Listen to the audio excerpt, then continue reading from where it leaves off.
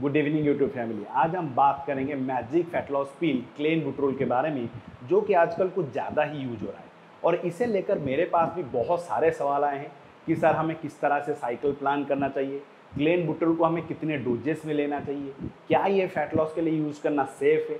वैसे देखा जाए तो यूट्यूब पे ऑलरेडी क्लेन बुट्रोल के ऊपर बहुत सारे वीडियोज़ अवेलेबल हैं। लेकिन किसी भी वीडियो ने कंप्लीट जानकारी नहीं दी है।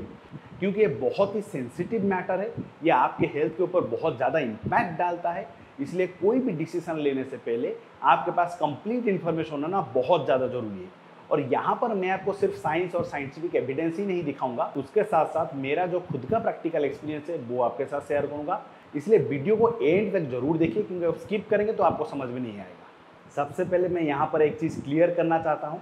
कि क्लेन बुट्रोल एक एनाबोलिक स्टोरेड नहीं है, क्योंकि एनाबोलिक स्टेरॉयड जो होते हैं ना, वो क्लास सी यानी कि क्लास थ्री ड्रग कैटेगरी में आते हैं। है बेटा टू एगोनिस्ट ड्रग कैटेगरी जो होता है ना, उसमें आता है क्लेन बुट्रोल ये करता क्या है? ये आपके ब्रोनिकल मसल्स को डाइलेट कर सकता है।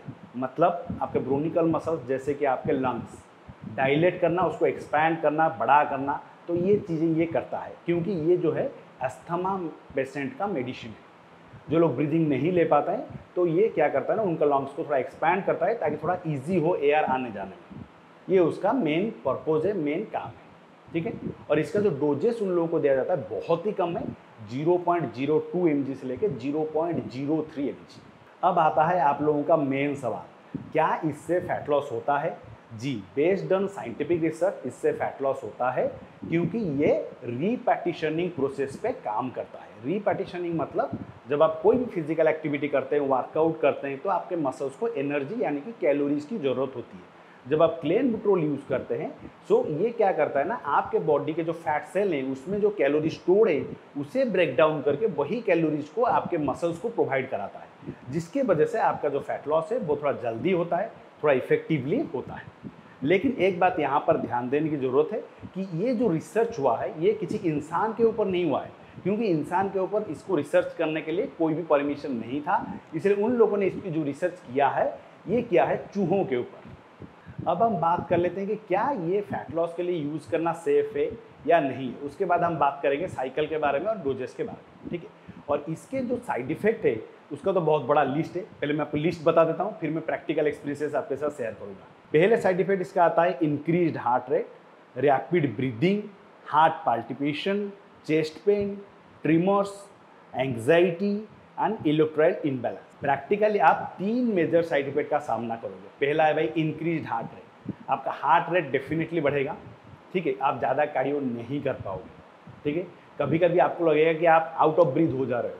मतलब नॉर्मली जब आप स्क्वाट लगाते हो तो डेफिनेटली आप लोगों को पता है, उसमें ज़्यादा पावर की एनर्जी की ज़रूरत होती है और आपका जो ब्रीदिंग है बहुत तेज़ी से चलता है। अगर आप 10-12 रिपीटेशन तक कंट्रोल कर लेते हो नॉर्मली क्लेन पेट्रोल जब आप यूज़ करोगे ना तो आपको छः सात रिपीटेशन के बाद लगेगा आप ब्रीदिंग होल्ड नहीं हो रहा है।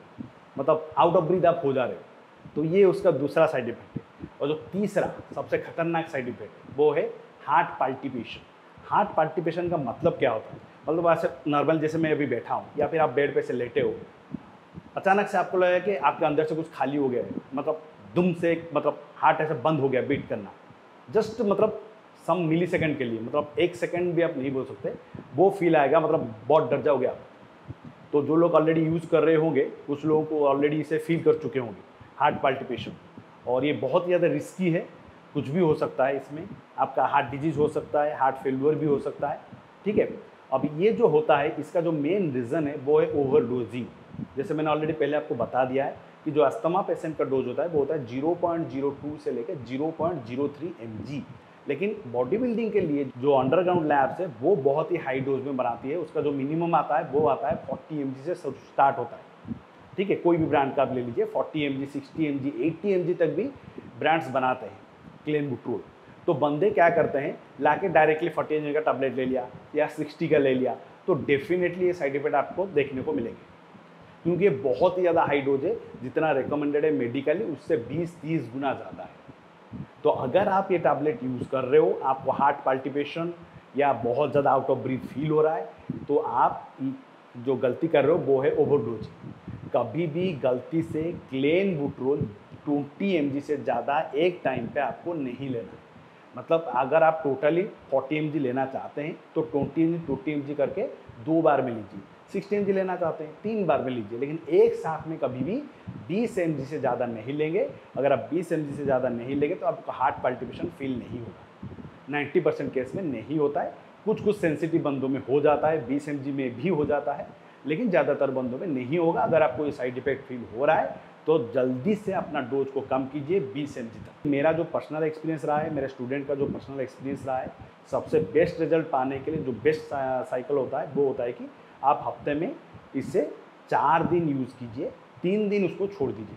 फिर नेक्स्ट हफ़्ते चार दिन यूज़ कीजिए, तीन दिन छोड़ दीजिए। ठीक है? और डोजेज ज़्यादा लेने की बिल्कुल भी ज़रूरत नहीं है। Forty M G is quite enough उससे ज़्यादा बढ़ाने की ज़रूरत नहीं किसी किसी बंदे को सिक्सटी एम तक जाने की पड़ती है ज़रूरत, नहीं तो फोर्टी एम काफ़ी है और उसको बीस एम में डिवाइड करके दो बार आप ले सकते हैं। एक मॉर्निंग में ले लीजिए, सुबह जो एम टी स्टोमाक कार्डियो आप करते हैं, वहाँ पे ले लीजिए और एक प्री वर्कआउट में बीस एम ले लीजिए। तो इस तरह से आप साइकिल करेंगे तो आपको अच्छा रिज़ल्ट मिलेगा। जो बंदा कंपीट नहीं करता है नॉर्मली फैट लॉस करना चाहता है, बहुत ज़्यादा फैटी है, उनको मैं क्लेन बुट्रोल कभी भी रिकमेंड नहीं करता हूँ।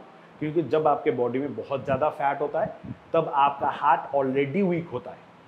ठीक है? अगर आप क्लेन बुट्रोल यूज़ करेंगे तो ये आपके हार्ट के ऊपर बहुत ज़्यादा प्रेशर डालता है। तो आपके लिए बिल्कुल भी सेफ़ नहीं है। मैं किसी को भी रिकमेंड नहीं करता हूँ कि क्लेन बुट्रोल फैट लॉस के लिए यूज़ करें। हाँ जो लोग कॉम्पिटेटिव बॉडी बिल्डर है, उनकी बात अलग है, क्योंकि उनको पता है वो क्या रिस्क ले रहे हैं। वो एनाबोलिक्स यूज़ करते हैं different different medicine medication use करते हैं, उनको पता है वो क्या रिस्क ले रहे हैं। तो डेफिनेटली आपको मना भी करेंगे तो भी वो क्लीन बुटोल यूज़ करेंगे क्योंकि उससे रिज़ल्ट आता है। सीधी सी बात है। तो अगर कोई भी कॉम्पिटेटिव बॉडी बिल्डर मुझे देख रहा है और आपको ये साइड इफ़ेक्ट फील हो रहे हैं हार्ट पार्टिपेशन फील हो रहा है आउट ऑफ़ ब्रीथिंग ज़्यादा हो रहा है तो उनको मैं यही सजेस्ट करूँगा कि आप जो है डोजेस को कम कर दीजिए और सबसे बेहतर रिज़ल्ट पाने के लिए हफ़्ते में सिर्फ़ चार दिन लीजिए, तीन दिन छोड़ दीजिए। इस तरह से आप चार से छः हफ़्ते तक का साइकिल कर सकते हैं। डाइट कैसा रहेगा वर्कआउट कैसा रहेगा सप्लीमेंटेशन क्या क्या चाहिए पीडीज आप क्या क्या ले सकते हैं तो सारे चीज़ें मैं आपके साथ शेयर करूँगा तो इसलिए चैनल के साथ बने रहिए और thank you for watching this video फिर मिलेंगे भाई नेक्स्ट वीडियो